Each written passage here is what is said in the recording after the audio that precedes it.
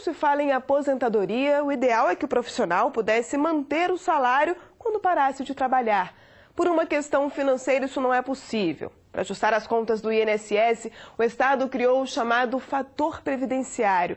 A medida é necessária, mas causa um grande impacto no orçamento familiar. E o prejuízo é ainda maior no caso dos homens. Noel tinha apenas 15 anos quando começou a trabalhar. Depois de três décadas na mesma empresa e na mesma função, ele pediu aposentadoria. Por você trabalhar numa área que é penosa, né, com agente físico, com ruídos, né, agente químico, então isso te permite que você consiga um benefício de uma aposentadoria antecipada. Mas os planos de ficar tranquilo em casa foram por água abaixo. Ao receber o primeiro pagamento, Noel teve uma decepção. Descobriu que ainda não poderia parar de trabalhar.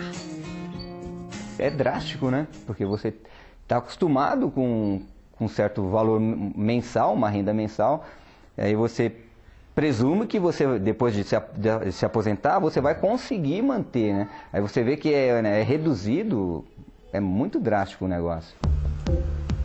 Hoje, o trabalhador da iniciativa privada pode se aposentar com qualquer idade, desde que tenha contribuído para o INSS durante 30 anos no caso das mulheres e 35 no caso dos homens. O problema é que, na hora de fazer o cálculo, a Previdência utiliza uma fórmula difícil de entender, mas com impactos evidentes.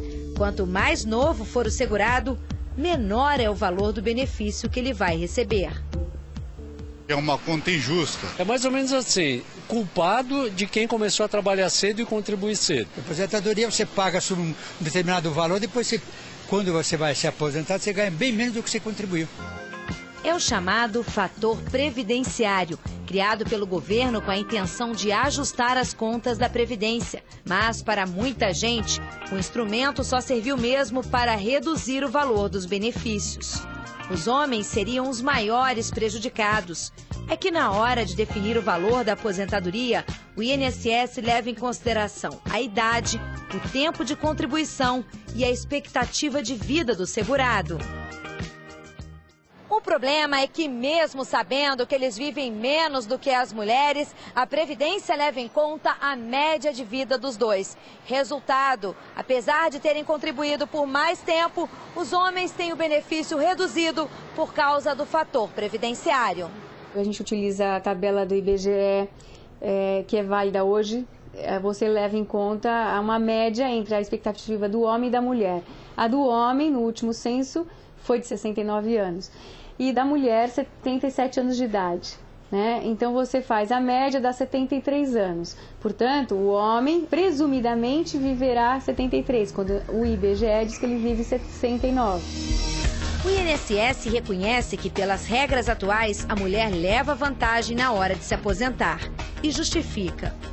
A mulher ela acaba tendo uma sobrecarga de trabalho durante o longo dos anos aí exatamente com isso, com a maternidade, com a função de casa, com o trabalho.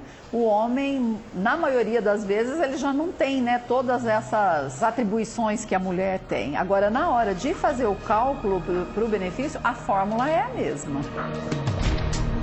Noel não concorda com esse tratamento diferenciado, por isso recorreu à justiça.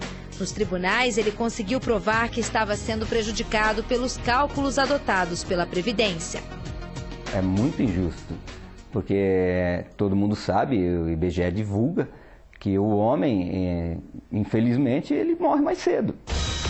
A decisão ainda é provisória, mas abre precedentes para uma longa discussão.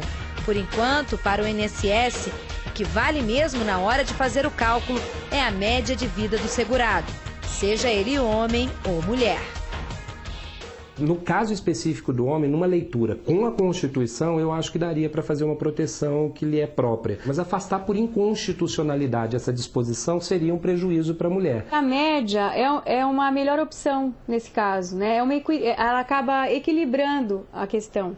Porque, na verdade, a expectativa de sobrevida ela é uma estimativa também, né? Se, se não seria injusto também você ter, utilizar esse fator previdenciário igual num país continental como o Brasil, do Oiapoque ao Chuí, a mesma expectativa. E a gente sabe que não é a mesma.